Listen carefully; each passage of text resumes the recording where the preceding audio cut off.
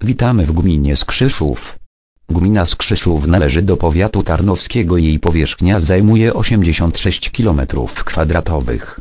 Jest to atrakcyjne miejsce do zamieszkania i do wypoczynku, są tutaj m.in. szlaki turystyczne i ścieżki rowerowe. W skład gminy wchodzi pięć sołectw w których mieszka 13 tysięcy mieszkańców. Gmina posiada dogodne połączenia a przez ładną przebiega droga krajowa E4. W każdym roku są organizowane dożynki gminne. I do gospodarza gminy się zwrócimy, żeby myślał o nas, dzieląc budżet gminy. Wiemy, że w kryzysie trudna polityka, ale panie wójcie, też chcemy Orlika. Na festynach występują znane piosenkarki takie jak Majka Jeżowska. Wszystkie dzieci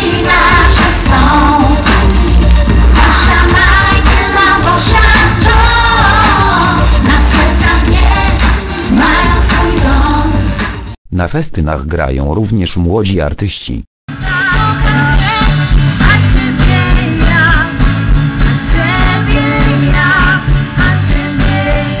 Życie jest piękne, choć to jedno tylko masz Życie jest piękne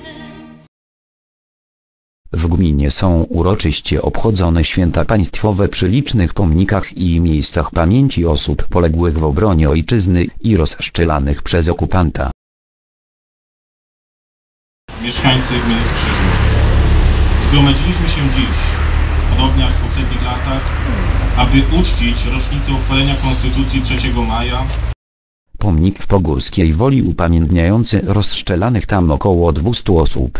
W Szynwałdzie jest piękny neogotycki zabytkowy kościół z 1918 roku zbudowany przez księdza prałata Aleksandra Siemieńskiego i dom sióstr służebniczek starowiejskich. W Pogórskiej Woli znajduje się drewniany zabytkowy kościół z 1778 roku. Zabytkowy kościół w Skrzyszowie z 1517 roku jest zbudowany w stylu późnogotyckim. Kościół jest pod wezwaniem świętego Stanisława biskupa, ufundował go Jan Amor Tarnowski i kasztelan krakowski a wykonał cieśla Jan z Czchowa. W Łękawicy jest również zabytkowy kościół neogotycki z 1909 roku pod wezwaniem świętego Mikołaja.